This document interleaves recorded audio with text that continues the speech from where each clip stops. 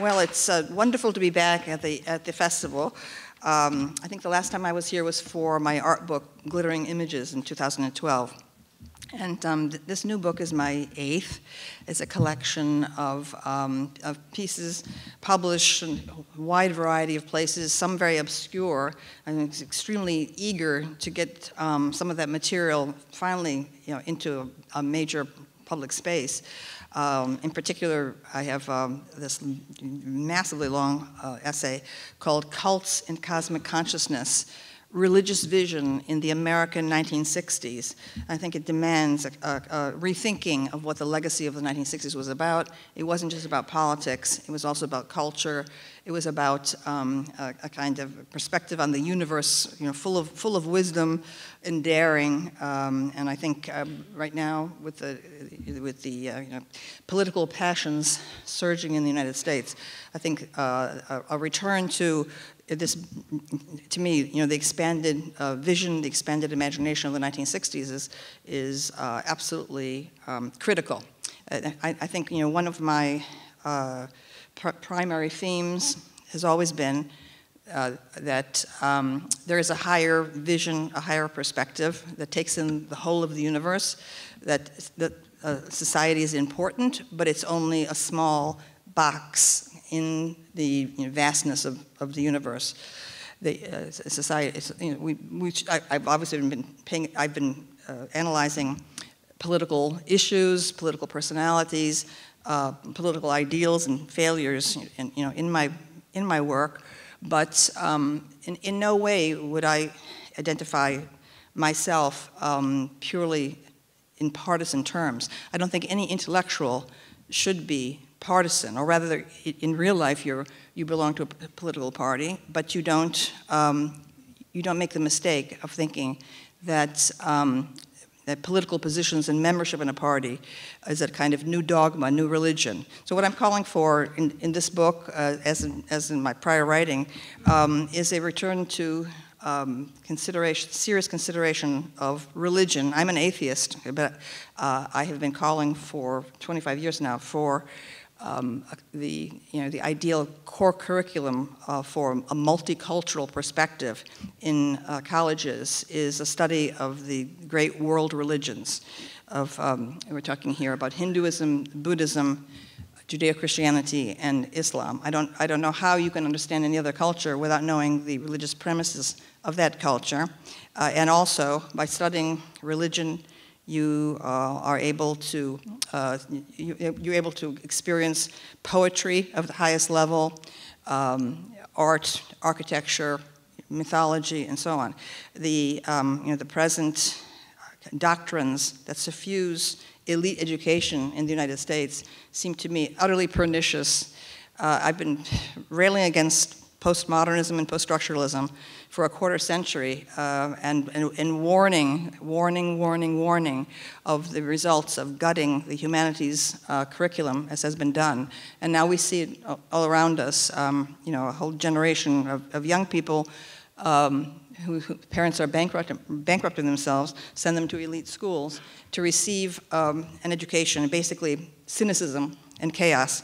Uh, there's no sense of um, historical perspective. History is regarded as a false narrative okay, that, we, that uh, is imposed by uh, power cells uh, who are simply interested in establishing and spreading their own personal power and so on. Just like simplistic kinds of canards you know, flowing from the mouths of professors who have made no serious study of, um, of history. Now, what you get with me is someone who, who was uh, very interested in archaeology from earliest years. And uh, my, my first job I wanted to have was a um, Egyptologist. Uh, when I say anything about culture, contemporary culture even, um, there, I have you know, behind this my, my sense of history, not just to the great civilizations of the ancient Near East, but back to the Stone Age. You know, I mean, I this is none of, uh, none of my uh, opponents in, um, in academe have any kind of, of uh, scholarly a perspective of this kind. I, I, don't regard them as scholars, in fact. I mean, we have, you know, the, the, the, leading figures in academia uh, of my generation are careerists. Okay, they, are um, uh, they're you know, professional cynics. Uh, uh, they, they, they uh, pretend to a leftism that is, is false because they, you know, these people are multimillionaires. The, the leading leftists you know, live like kings. Um, these, the leading leftists on college campuses said nothing about the gross expansion of a tyrannical uh, administrative class of bureaucrats. They said nothing about the obscene rise in tuition costs, which have, uh, have had such a horrible negative effect on families and burdened so many students with, with debt. Uh, they said very little about the um, enslavement, the servitude of, of, uh, of adjunct instructors, in, uh, paid a pittance and denied benefits and so on. Okay, what kind of leftism is that? Okay, okay, pretty phony. Okay, all right. But um, much as I enjoy belaboring my opponents, I want there's much else in my book.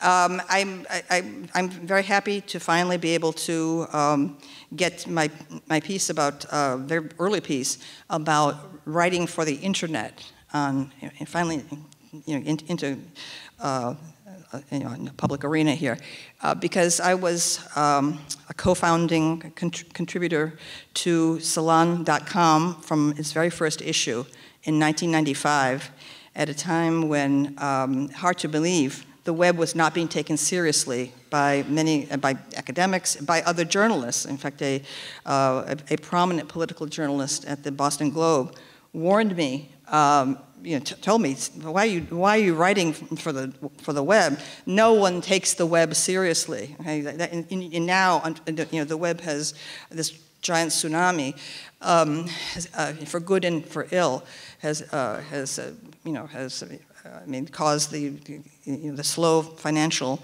um, sinking and eventual extinction, probably, of, of newspapers themselves, which is, uh, to me, a tragedy. I, I, I, feel I learned a great deal from newspapers. Uh, there's something about the physical newspaper, uh, turning the pages, surveying it, scanning the news, taking all the news in, uh, that you really can't get on, uh, via the web. I, I, my, my main news intake now is, is from the web, but it's, it's, I, I know that my students uh, don't read newspapers and that after my generation goes, there'll be no newspapers left. Everything will have moved, moved to the web.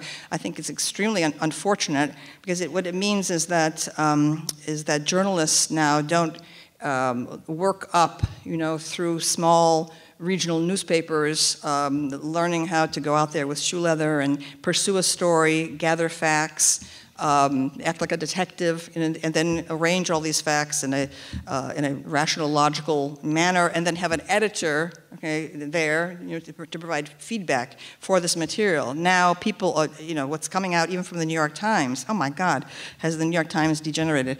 Um, you know, oh, oh, Lord, I mean, it's like, it's like the level, the, the columnists are like the level of women's magazines, okay, of, you know, from back when I was growing up. Uh, just like this pouring out. No sense whatever, okay, that an article that one writes, okay, has a structure or should have a structure. That perhaps it should have paragraphs, okay, you know, that, perha that perhaps um, it, it, could be edited and shortened and, and, be far more forcible if condensed. I, am lucky enough to have been able to write for the newspapers um, at their height, okay, still in the early 90s before the arrival of, of the web or of web journalism. Uh, I and I loved it because um, the very things that most professors consider limiting, that is the, um, you know, the, the, space considerations, you know, I found very stimulating to be able to, um, to express all, all all of one's points within 800 words or, or 900 words, the classic op-ed structure as it was developed originally by, by the New York Times. I think, and then, um, and then often at, you know, at deadline, there'll be some other issue. The, the piece will have to be shortened further because the, you know, the art department has like the, a big lavish illustration, which always eat, you know, eats up space. So that was a real discipline, um, that period. And now with the web, you can go on and on and on as long as you want. But, um, you know, beyond that, uh, uh, what, what, I'm hoping people are noticing that as some of these uh, Tony literary journals, like the New York Review of Books, go online, that you, you, you can see how um, fossilized the prose of those journals is when it transfers to the web. You try to read it on the web, these things that are written for the New York Review of Books or even the Times Literary Supplement and so on. All right, and, um, and oh my, the, the, the verbosity the. You know, the, um, it's, it's, it's, clinging to a style that's really quite dead. So I, what I, in, in my essay about writing for the internet, I described how my salon.com column uh, evolved and how I learned that to write for the web, you're writing for, you're writing for a screen. You're writing for the a TV monitor, okay, essentially. And now, of course, people are reading on, on iPhone. But, you're, but it's, it, the writing for the web, the, the, the web is a visual medium and you have to, you have to um, write in a different way for it as you would write for, for essays and, and books. So I, I detail my process of discovery of that and how I um, conceive of, of writing for the web as floating blocks sort of like a Mark Rothko painting, okay, floating in the air. And, um, and, I, and I, I, deliberately devised visual um, uh, details and, and, and games you know, for, for it that, so, that the words themselves should look interesting okay, on, on the page. This, this, so this produced my, uh, my salon column, which I, I, I say um, and nobody has snapped back about this yet, but you know, if they do, I will, I will crush them. All right. Uh, My Salon column was the first blog, okay? My Salon column invented the blog. Uh, and no, and no one, okay, was writing like that, okay, writing in a personal way about, about personal events and so on at length on the web, okay, before me. Um, you had Mickey Kaus writing, the only other person doing anything parallel was Mickey Kaus with his political column, but, but I was already writing for the web before he started.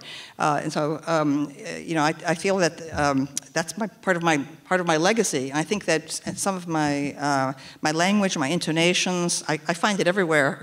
People don't, I mean, sort of become almost the voice of the, of the web in, in, in ways. All right, so there's that. Um, I'm, I'm, thrilled to finally get out into, into print again.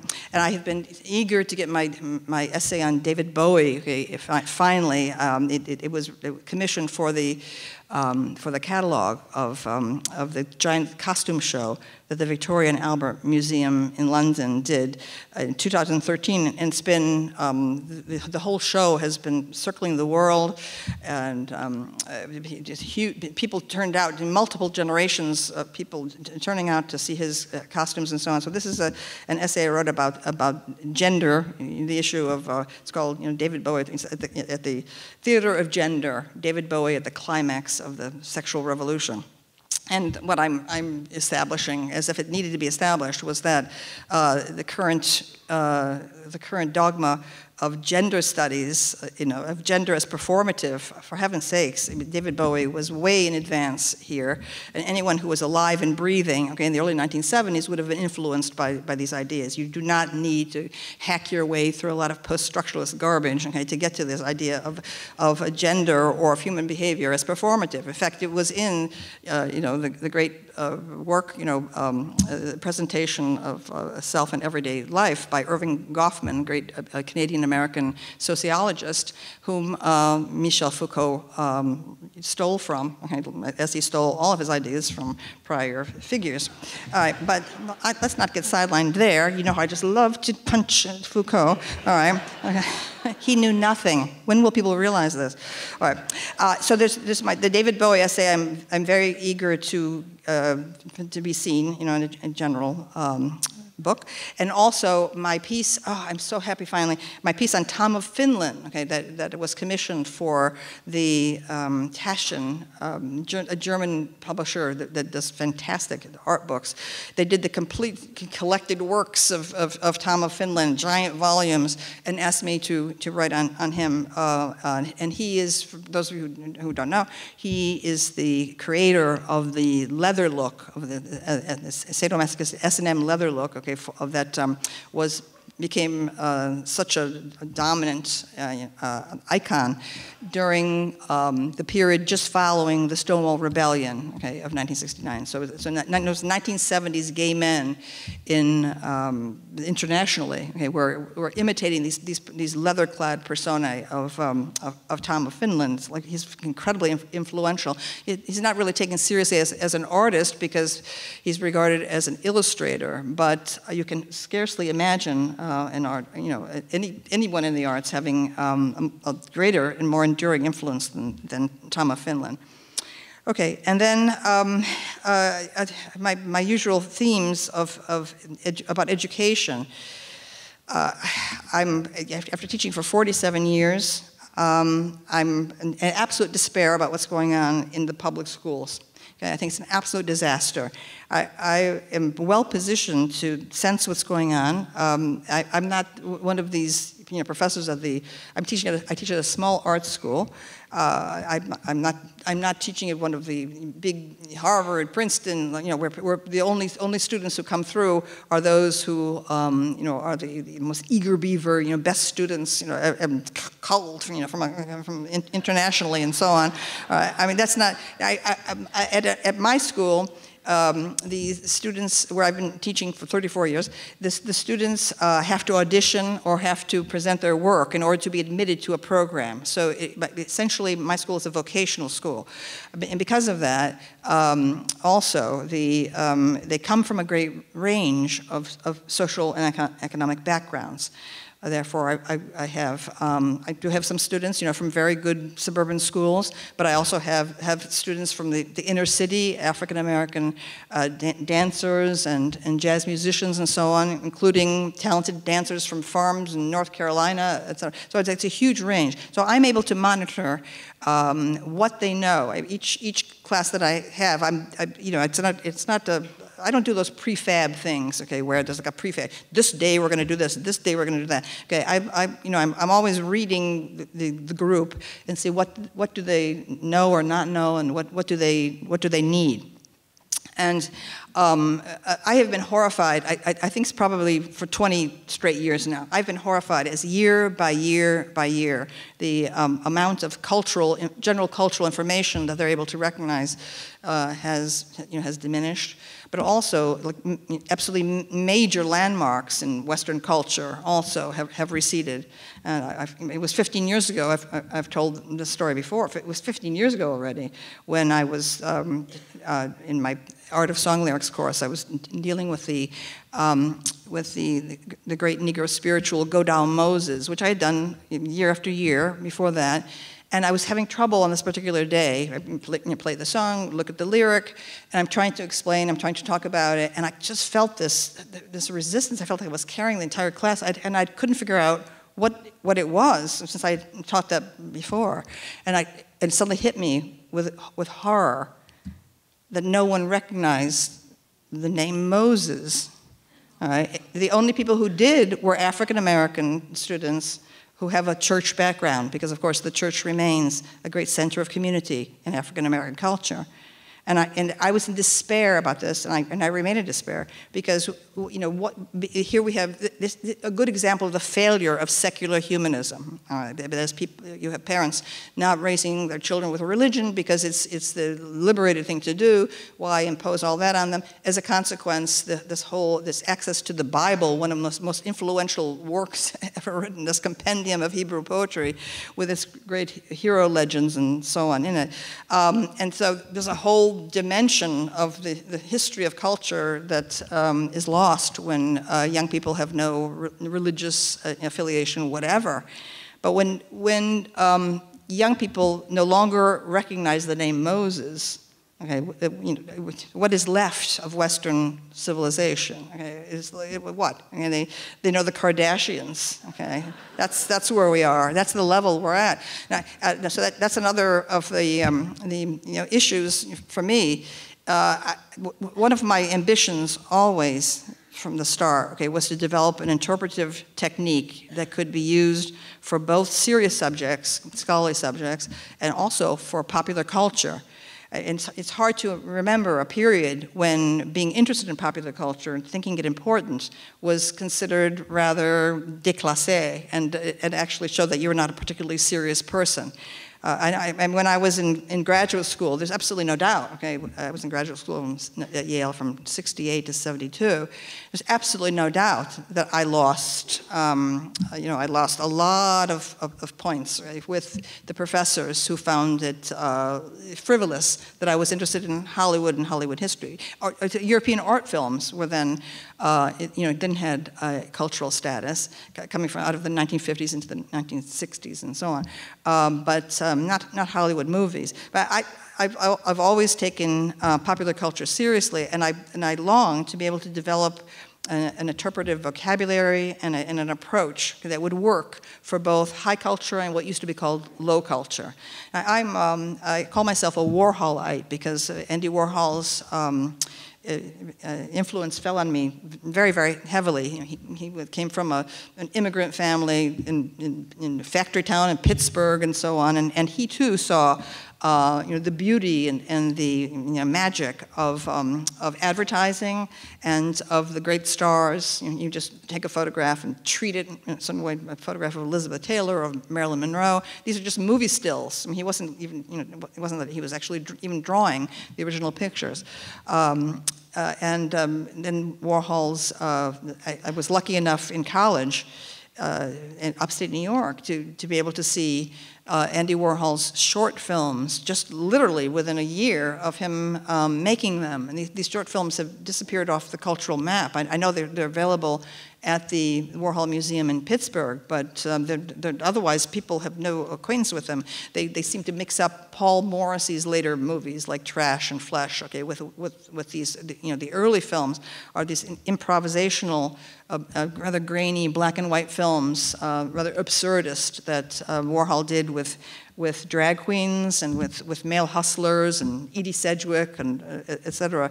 That, it had a, absolutely an enormous um, impact on me. So, I, I, so I've remained um, a Warholite, by which I also mean that, uh, and this is a point I've repeatedly made, that uh, pop art um, ended the avant-garde. Okay, the, the avant-garde uh, was killed by, by pop art.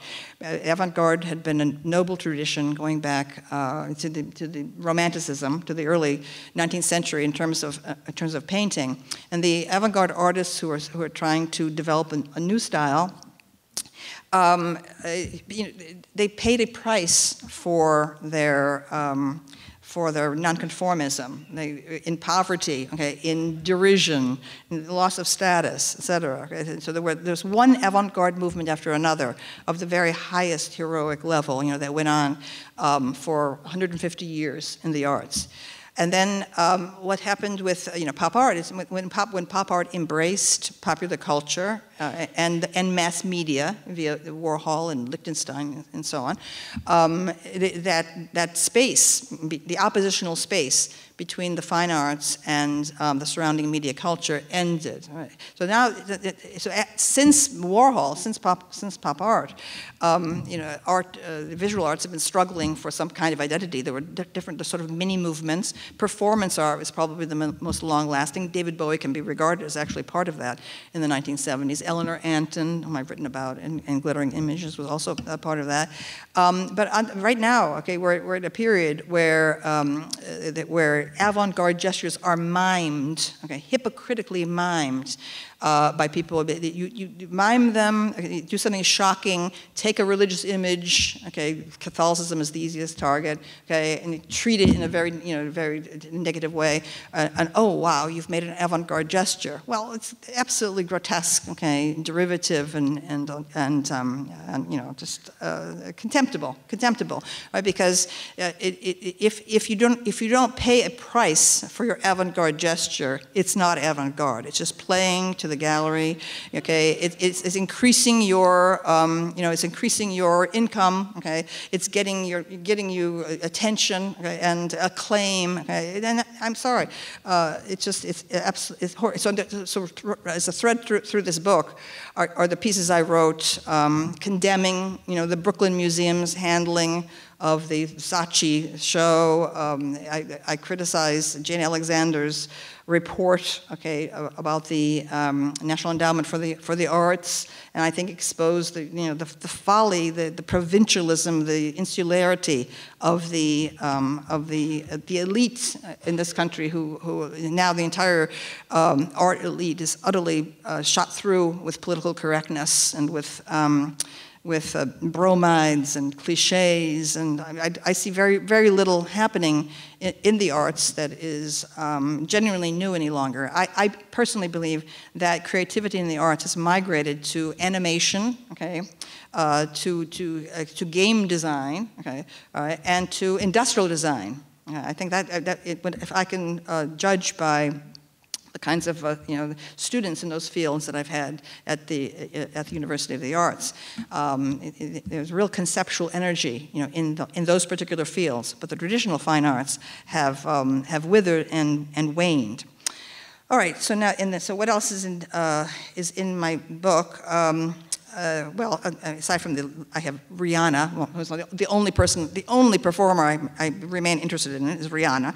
I'm, I'm always interested in, in, seeing the latest Daily Mail photographs of Rihanna coming out, okay, haughtily from a nightclub at 4 a.m. in London, wearing fabulous colors on her her nail polish and so on. I mean, I, I think I think she's truly, art, uh, you know, tr truly an artist in terms of uh, not only the work she's done in music, okay, but also in, in fashion design. She's completely uh, independent, and not to mention those those uh, X-rated Instagrams that she was doing for a number of years, but then has unfortunately stopped because um, her mother, okay, in Barbados, put her foot down, okay, and, and read her the Riot Act. And I, I believe I may have played a slight role in that, and that's all in the book, okay? Uh, and I feel sad about that. That, I paid so much attention to, to the Instagrams that suddenly her mother found out. Okay. Um, at any rate, uh, uh, Joan Rivers, okay, I, yeah, was a great role model for me um, in the book. Gianni Versace. There are a lot of dead people, okay, like, like, you know, like the, the death of Gianni Versace, the death of Norman Mailer. You can just feel the sort of passing of the guard. Uh, Martha Stewart, okay, at, at, the height of her, her scandals. Um, oh, and then I have um, pieces, a piece like, um, I have a number of things that, that uh, reflect my teaching, my classroom teaching, and one of them is um, teaching Shakespeare to actors.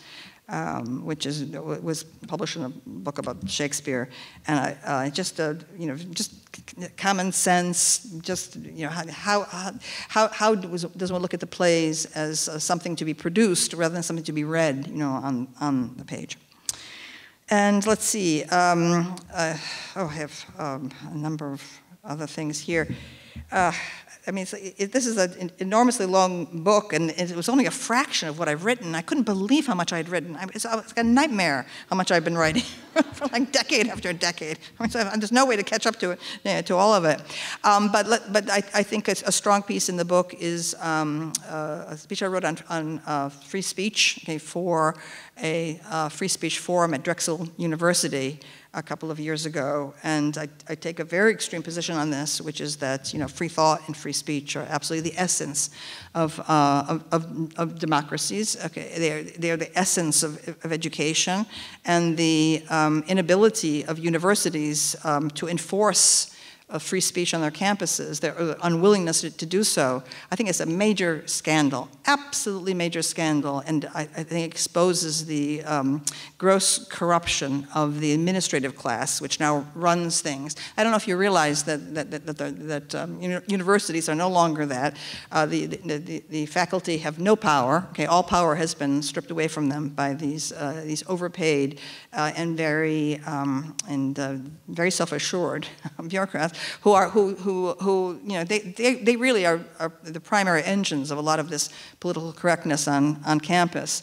Um, but I, I, find particularly appalling um, the the failure of so many professors uh, nationwide um, in the U.S. to be able to, um, to understand that when, when they're in front of a class, okay, that, that the class is not there as a laboratory you know, for their particular personal political, political ide ideology. I think it's perfectly justified if a professor says what his or her viewpoints are but they, they must be presented okay, as opinion, okay, and, the, and, the, and the teacher must say, say simultaneously, all of you okay, are completely free to take any position you want on any issue, even if it's totally opposite to mine, okay? all right. And uh, the, the failure to do that, um, the, the, professors actually uh, think, you know, they have, they have the right to, to dictate, to militate, to tyrannize, you know, to bully. And so I'm, it's shocking to me how these people got into the profession. And it has to do with, with the general collapse of any idea, any scholarly standards, whatever, okay, in, in, in, in the most um, in the uh, you know, sort of the high neon fields, uh, it really started with women's studies. Okay, we're, we're, we're, uh, not, I'm, I'm, saying this as a, as a feminist, I, I, someone who was writing about gender before second wave feminism. I was writing about it in college. I was writing about it. I was my, my dissertation, sexual personae, was hard to believe now was the only dissertation on sex at the Yale Graduate School when, in, when I when I was there. Then after that, within a few short years, everyone was writing writing about sex, of course. Um, but women's studies was created, I, have been trying to get people to see this for decades, and perhaps now maybe their eyes are starting to you know, open about it. Um, women's studies was just created with a snap of the fingers, okay, uh, by administrators who, um, who wanted to make reparation, visible reparation, for um, the exclusion of, of women uh, from so many faculties, uh, the, the, the, few number of women that, that were on you know, the, the, elite school campuses at that time. The, the, um, undergraduate colleges of, of, Yale and Princeton went co-ed, okay, at that, that period when I was in, in graduate school. And, um, and, and, women's studies, just, it was just, it, it began as uh, essentially window dressing uh, in order to telegraph that this, this college is enlightened, okay, where, and, and just so don't just throw a lot of money at some women, okay, and let them find their way to create women's studies. Now, this makes no sense. This is a, a we're talking here about, about the creation, instantaneous creation of a major scholarly field. It, it, required some thinking through in terms of what would be the training of, of, of majors in this field. What do they need to know uh, um, in, in, terms of uh, uh, anthropology, uh, hi social history, and biology? Okay, how, how is it possible that um, that gender studies as is now called, has been uh, permitted okay, to, to spread, to flourish without any reference to biology. There's no requirement whatever okay, for um, undergraduates to, uh, to have even a single um, semester of biology. Now you can end up deciding biology is irrelevant, uh, but not to, not, not to expose students to it. Uh, instead, to create an instant canon of, of, of new books okay, by uh, contemporary women's studies professors who in the beginning, many of them came from English departments. They, they didn't even come from uh, any, any exposure to social history.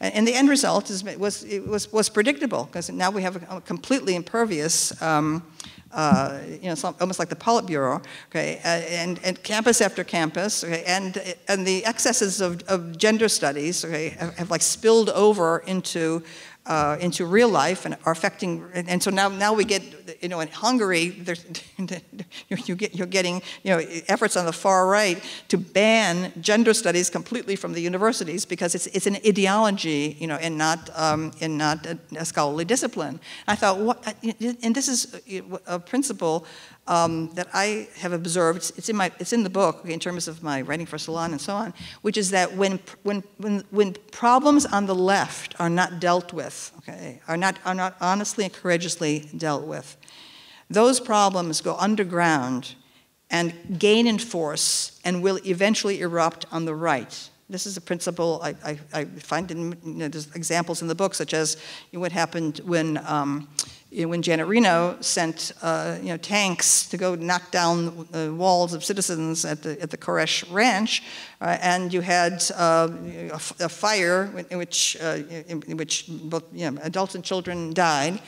Um, and the, the, media said nothing about this, okay, whatever. Um, this incredible violation okay, of, of normal, um, the, you know, the, normal humane um, procedure on the part of a democratic government. They said nothing. Okay, everything was suppressed because it was the, the new Clinton administration. So what happened? The issue went underground, got fiercer, and, and it erupted two years later in the attack on the Murrah building, okay, by that, by that, that fanatic, right-wing fanatic, okay, who killed incredible numbers of people. Right? So this is so this is what's happening now, is that uh, gender studies is an ideology. Okay, it is not a scholarly discipline as, as presently constructed in the universities, right? And why does why wasn't this dealt with on the left? Why was there no critique on the left? Nothing. And so it goes underground, and now it erupts in Hungary uh, on, you know, on, the far right. Right? And so that's just, just um, and I think a lot uh, there are a lot of items in the book, um, in, especially in the Media Chronicle in the back of, of, the book, that show how I believe prescient I was as a Democrat in uh, critiquing in my Salon column uh, problems in the Democratic Party, uh, pro problems in the the uh, the trending of the party toward uh, toward lawyers, okay, and toward uh, Goldman Sachs and, and, things like that, um, and that, that, these problems could be seen very very distantly, right? But no, people didn't want to deal with it, right? and so as a consequence, you get again uh, dissatisfactions among the populace going underground, and um, I, so I, I was not. Uh, uh, I was not surprised, as a Democrat, I was not surprised um, by the election of, uh, of Donald Trump. The only people who could be surprised are those who, who like, had this rosy-eyed view of, of, um, of uh, democratic ideals which were not, in my view, you know, being met. I'm, I'm, I'm a Bernie Sanders voter. Uh, so I think that um, I'm hoping to serve as a role model to young uh, people writing about politics to say that you, if, you really want to write or study politics and analyze it and, you know, and um, become known as an, as an, as an analyst, you, ha you have to in some way rise above your own uh, partisan um, instincts. Otherwise you just fall into the same you know, dualistic um, uh, dead ends okay, that, that were in so many people. I mean, you can you you, you that's why TV, a discussion of um, of uh, politics on TV has become uh, utterly enervating. There's really people are on one side or the other. Everything is pitched okay, on the shows uh, as you know, in terms of op opposites. Are, are you going to wave me? Oh, I have five minutes. Okay. Uh, uh, oh. All right. Thank you. All right. Wait, wait, this is a pre-plan. Okay. I have to be terminated. Okay. okay. Um, what was I saying about TV? Oh, I mean, it's hard to believe that in the 1990s there were like there were really good shows on, on TV.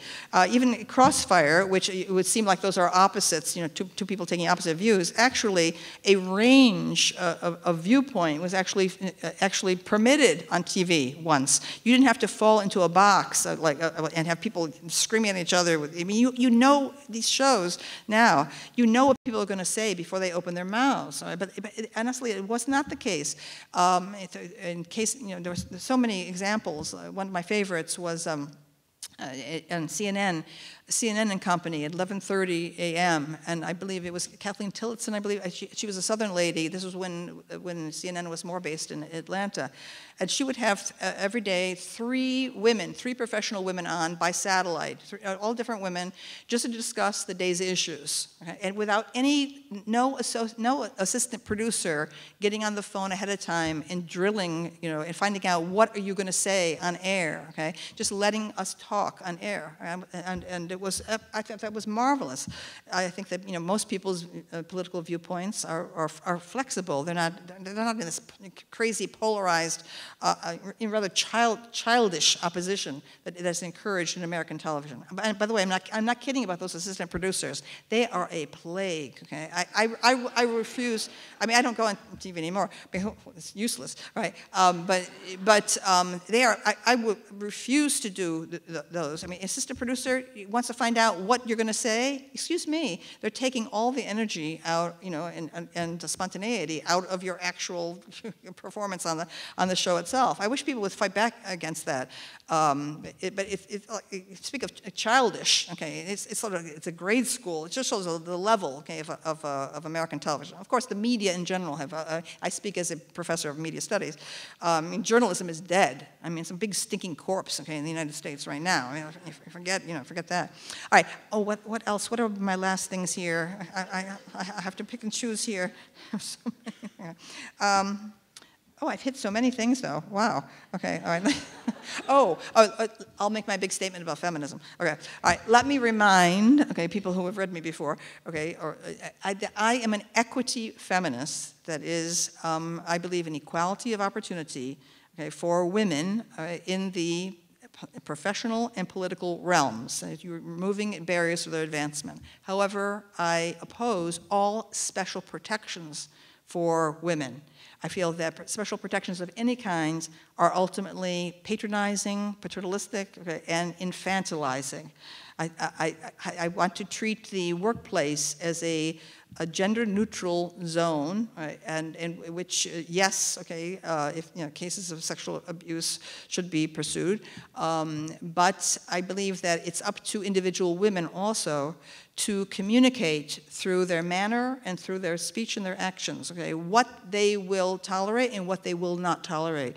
Um, I, I, I, find that there's, in my view, there is no excuse, okay, for a highly educated, uh, upper middle class woman, okay, professional, uh, to, to be saying that she does not have the power, okay, to um, say something back or to sc uh, scold or to complain or, or whatever. I think that's, I think it's absolute nonsense. That, that what that is is is uh, a woman putting her career advantage, okay, over her innate uh, dignity and self-respect. Uh, and that and it is the working class women who are really uh, unable to fight back. women who really depend on an income for their children and so on, perhaps they're single parents, et cetera. Uh, but all this complaining, okay, by, by middle class women, right, about, and this invoking of, uh, uh, of an oversight panels. This is what, what I, I absolutely loathe as a, you know, as a veteran of the 1960s, for heaven's sakes, um, is this um, deputizing of paternalistic uh, figures uh, who, who are now are going, have this power of surveillance over personal life and person, personal uh, behavior. I think it's a terrible mistake. Okay, this um, when, whenever you have a growth of any kinds of um, of, a, of a bureaucracy, bureaucracies bloat and bloat and bloat. Okay, and eventually become tyrannical. It's actually the history of the of the decline and fall of every every culture. Okay, it, it should be built into every bureaucracy some sort of, of a, a mechanism that, that, constantly curtails its size and its power. Um, the, but, you know, the situation on college campuses is outrageous. I, I, I, have taken the extreme view all, all along, and I'm a college teacher, okay, which is that uh, college administrations have no business okay, uh, intervening in or surveilling students' social lives. I take the extreme view on it. None. Zero. Okay? If a crime is committed on a campus, give it to the police. Right? Uh, so this business of, of, of, uh, of now, you know, paternal, of uh, paternalistic figures on campus um, taking, you know, taking, listening and hand-holding and hearing about what happened on a date. What kind, this is, this is such a betrayal of the, um, uh, of the, you know, the, of the uh, sexual revolution of the 1960s, which my generation of women okay, had uh, so supported. Okay? We, want, we want independent lives, independent thoughts, okay? Ind independent uh, relationships with other people, and not these nanny figures, okay? these uh, substitute parent figures uh, constantly um, hovering. Okay, are we ready to? Okay, all right.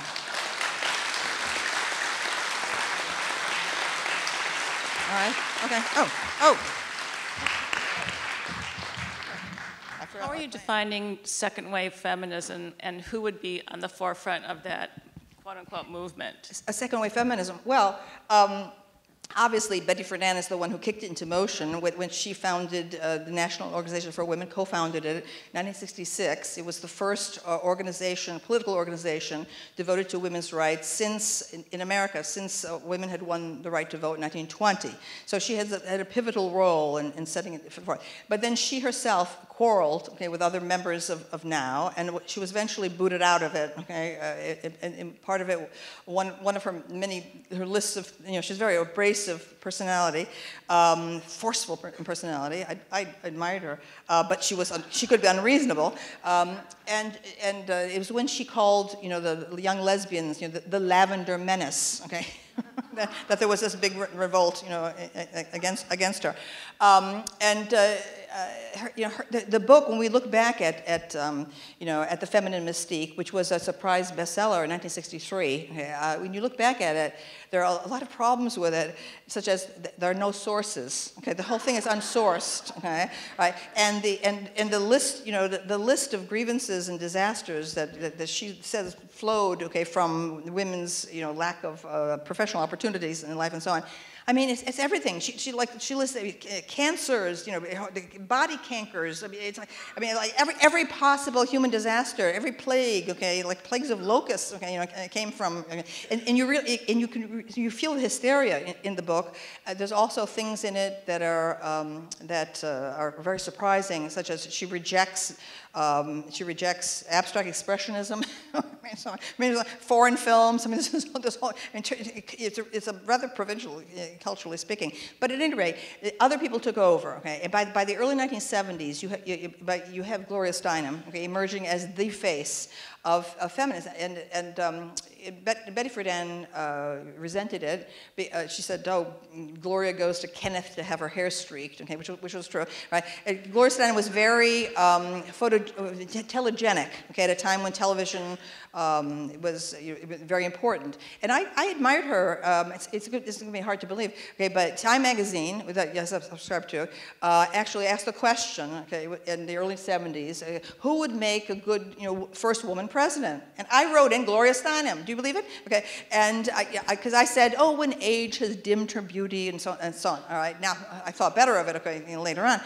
But she, um, but so Steinem, okay, Steinem has a man problem. Okay, so this this this this this, this anti-male thing got embedded into feminism from a lot of these. There's some women who are really borderline crazy women at the very beginning. Okay, some of them are really radical ones, right? But Steinem, um, you know, she was she's not an original creator of uh, of ideas.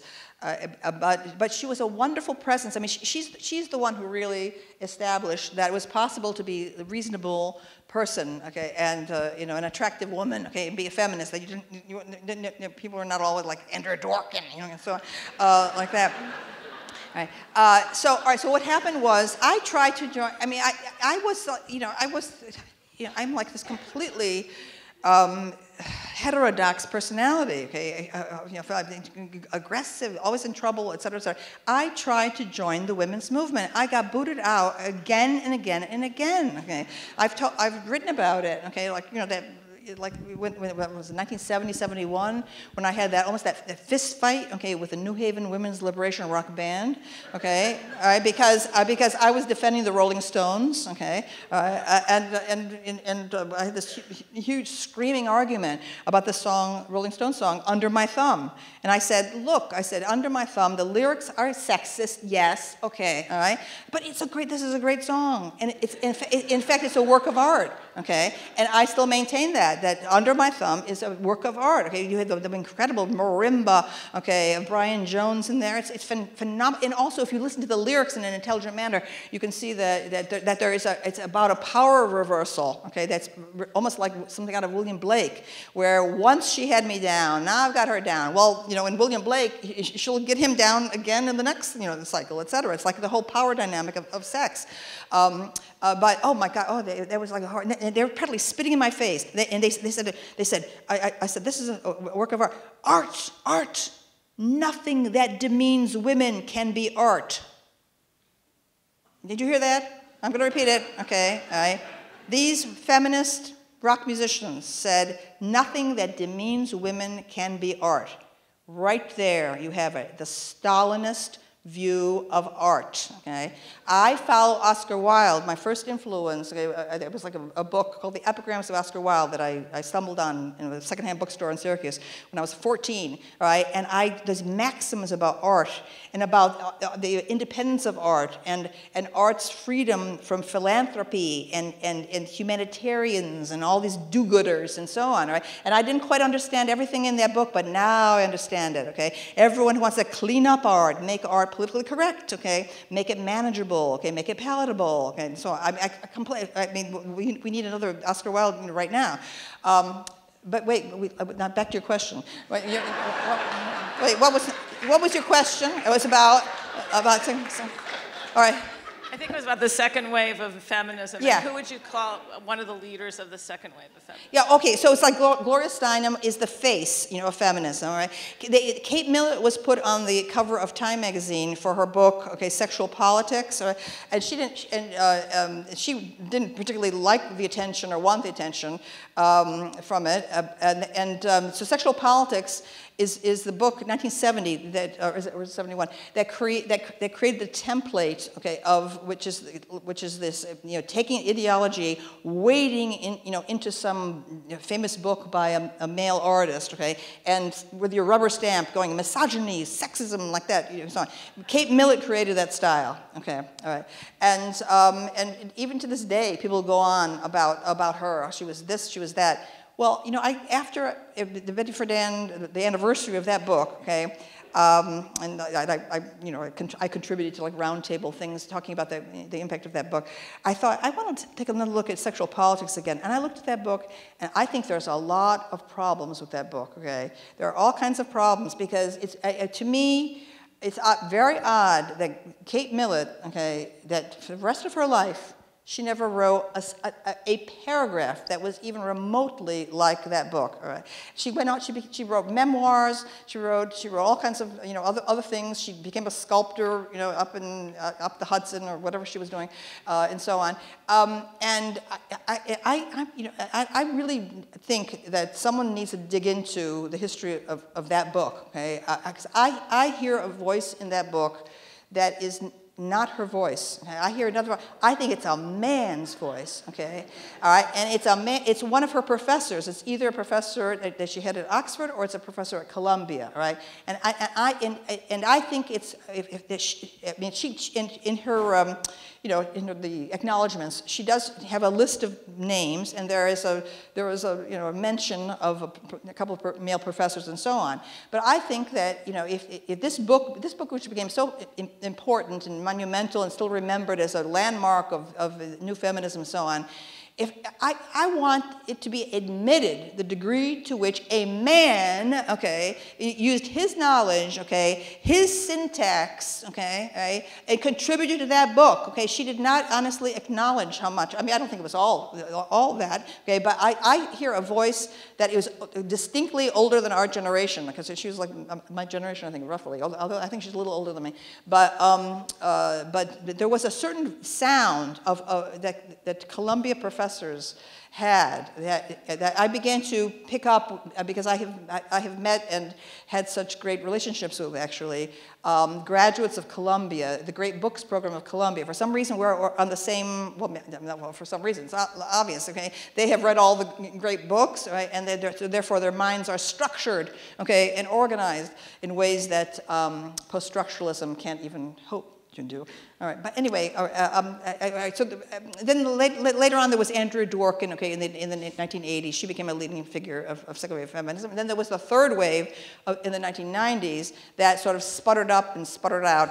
Um, uh, and there was like Naomi Wolf and, uh, you know, Susan Faludi, who was, uh, and who Gloria Steinem embraced, okay, in, in a famous Time magazine cover. You could find it on the web, okay, where they look like um, terrorists or, or, or like you know, underground people clinging to each other in a bare room. People said, well, what kind of vision of feminism is that? These two women. But, but that's where Gloria Steinem gave her, you know, imprimatur to Susan Faludi, who uh, you'll notice Susan Faludi's career immediately sank after that. Uh, I mean, she came, she came out, she came uh, with a memoir about, uh, about two years ago about her father and, you know, having, having now turned transgender and wherever he is in Europe. And, um, and, now, and now she's recounting um, the horrors of her childhood. Her, her father, you know, attacking her mother's lover, okay, with a knife all over the house, blood all over the house. I thought, this is her childhood, right? And this, I mean, I want, I want feminists, you know, to come from good families, okay, and solid families. I don't, Why is every single feminist, you know, like Trace, you know, Gloria Steinem, I mean, she's written a lot about, it. Like her, her mother was, was mentally disturbed, and, and, and, Gloria Steinem had to, had to nurse her. The father abandoned them to a rat-filled apartment, and so on. This is like this is why they're so anti-male. Okay, they're just, they're just anti their fathers. It's not really, this. I, I have been trying to get the anti-male you know, uh, you know, obsession of feminism out of it, okay, for decade after decade after decade. And I, I, you know, I constantly say, only weak women cannot admit the strength of men and of the great achievements of men. Okay, I, I've learned incredible amount from men. Okay, all right. I admire men. Okay, all right. I, I, I don't, I don't feel I have to like, you know, say, oh, they're all toxic and they're all, you know, and like always you know, the little, the little claws out and so on and so forth. Right? And it's, it's gotten really bad. You know, you, you all know how bad it's gotten. Okay, where everything about ma anything masculine is automatically defined. Okay, as a social construction. Uh, uh, please. Okay, my, my, my father's generation went to World War II. Okay, my, my father was a paratrooper. I've got all my uncles. They were in the Navy, and, you know, in the, in the, army, and so on. Okay, I saw men. Okay, men who could do anything. Okay, you know, men, men who could like take a piece of wood and, and like make, you know, capable men. You know, men, uh, men who respected women. There was no abuse, okay, that I was ever, uh, not, you know, my whole Italian uh, American experience upstate New York, never an example of anyone dishonoring a woman or abusing a woman, okay? These were, men, these were incredibly, uh, you know, talented men uh, who could do anything, okay? I, I could have like nutball, you know, my, my, my, you know, my uncle would make on his off hours, absolutely work of art, okay, and so on. You know, my grandfather would be making baskets in the, in the backyard. They, they worked, worked, worked. To they gave, gave, gave to women and children. Men have been sacrificing for women and children for like millennia. And so instead, we have all this like focus on the, on the horrors of men, the, the worst men, the brutal men. Okay. Well, every every brutal person should be you know should be jailed. Okay. I mean, obviously. Oh, sorry. Am I going on too long? I think we're actually out of time. Oh. oh. Sorry. I'm right. sorry we couldn't get to your other questions.